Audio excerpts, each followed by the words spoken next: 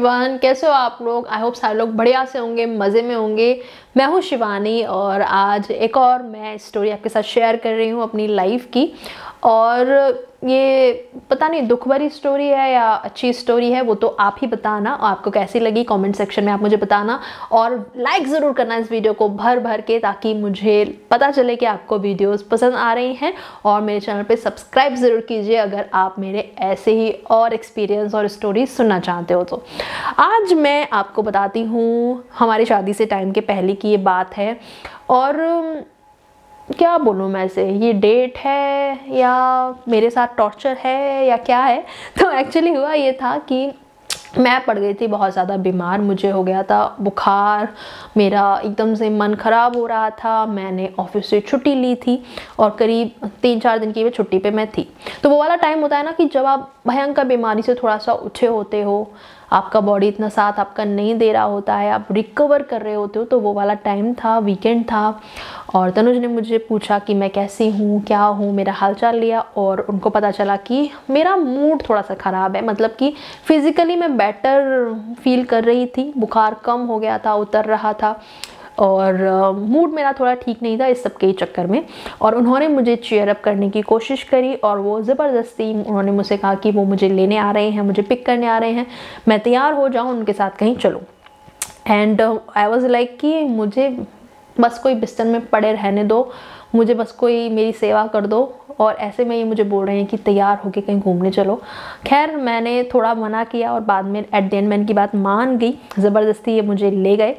और इन्होंने पूछा कि कहाँ घूमने चले, कहाँ घूमने चले। तो मैंने उस टाइम पे दिल्ली में कुछ भी नहीं देखा हुआ था।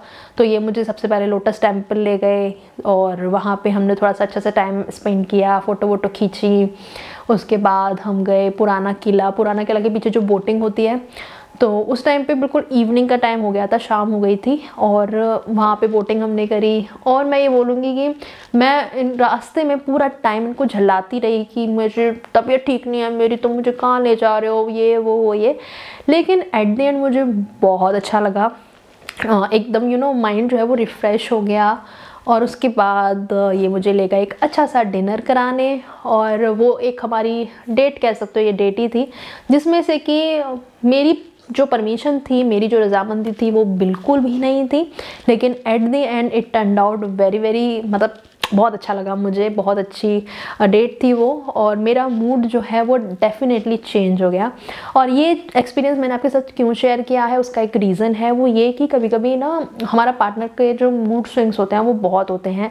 चाहे वो रेगुलर पीरियड्स की वजह से हूँ, हम गर्ल्स के या फिर जो मैन हैं उनके उनके काम की वजह से स्ट्रेस की वजह से, या फिर नॉर्मली भी किसी बीमारी के चलते या टेंशन के चलते या नॉर्मली भी बहुत टाइम ऐसा होता है कि हमारा मूड बस ख़राब होता है।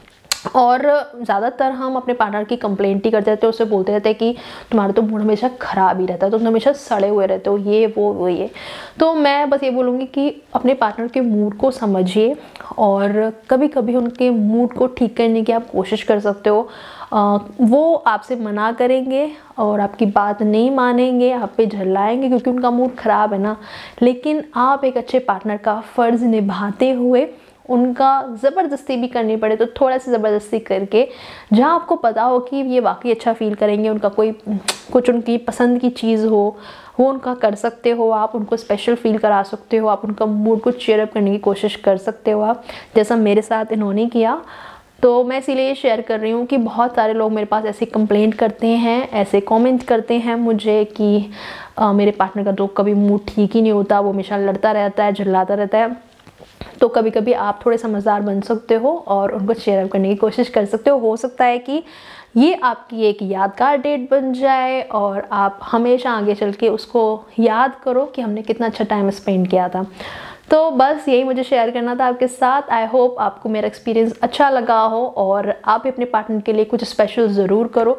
या तो कहीं उन्हें घुमाने ले जाओ, उनको कोई डेट पे ले जाओ, या घर पे ही कुछ करके, कुछ स्पेशल करके उन्हें चेयर अप आप कर सकते हो.